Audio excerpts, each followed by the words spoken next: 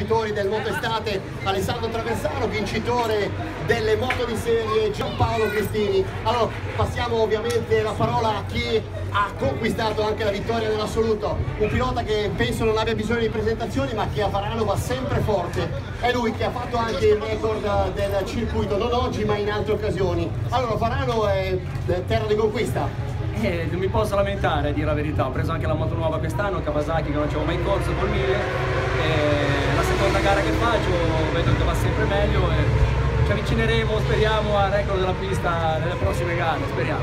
Senti, le prossime tappe del Motestate vi portano in Franciacorta e a Modena, ci sarai?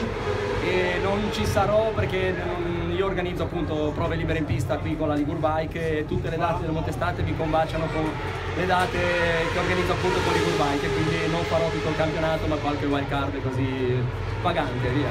Dalla Liguria ci spostiamo in provincia di Brescia con Giampaolo Cristini, finalmente la fortuna di sorridere un po' dopo tanto tempo davvero travagliato, perdonami questo termine ma è molto veritiero.